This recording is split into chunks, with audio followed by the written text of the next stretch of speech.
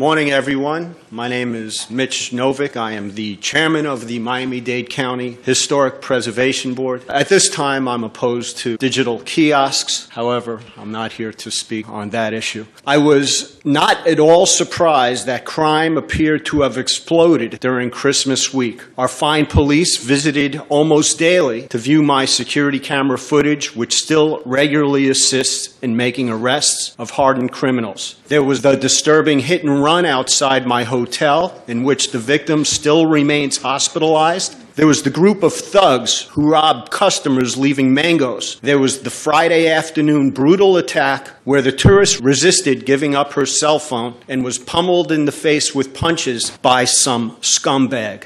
This commission has repeatedly proven it is unable to ensure the public safety of residents and visitors to our city. To reiterate my two year concern, what's happening has never been a police issue, it has always been entirely a zoning issue. Open air entertainment and the assaulting noise associated with it is the crux of our problems. Entertainment is an incompatible use when abutting residential and hotel use. In fact, the MXE classification was created right here on Miami Beach and according to my cursory research isn't found in any other state. Recently, you've squandered more millions of public dollars on police and security to fix a problem which seemingly has deteriorated further. Since Commissioner Arriola's ill conceived and fundamentally flawed 10 point plan was adopted, yes, it was crafted primarily by Mangoes, the Clevelander, and their lobbyists. We've had multiple shootings, a murder, a horrific sexual assault, and countless violent incidents along Ocean Drive. Today, you've clearly run out of options.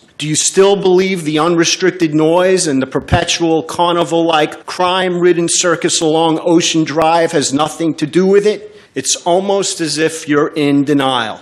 But that's not the case. I assert you've all been corrupted by Ocean Drive special interests. Yes, I'm talking again about Mangoes, the Clevelander, and others who've contributed thousands and thousands of dollars to many of your political campaigns. And moreover, on today's consent agenda, there's a $10,000 gift from Mangoes to the city. Is this gift some sort of quid pro quo? Can any of you show you're not beholden to these Ocean Drive special interests?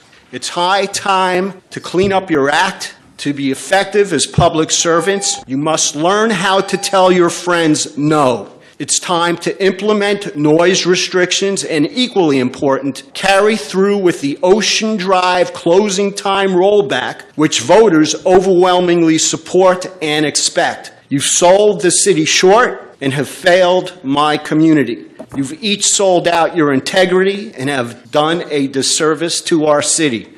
You should all be ashamed of yourselves. But besides that, you're happy with us.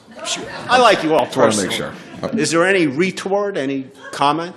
No, Okay. I think that was a great speech, and I think that, you know, I think that you know, and I don't speak for everybody, myself, but I think that that was phase one, and I think we should see how things go, Mitch. And I Come think on, Phil, we've things had don't go very well. We're going to go to we're going to go to we're going to go to phase two. You need to implement that today before spring break kicks in. I'm and you of- could do it. I'm You're the guy who could I'm do one of seven. Hey, six others. Put it on as an Thanks, emergency item today. Address that noise issue, Mitch. even the rollback. Thank you, appreciate it. Thank you. Thank you.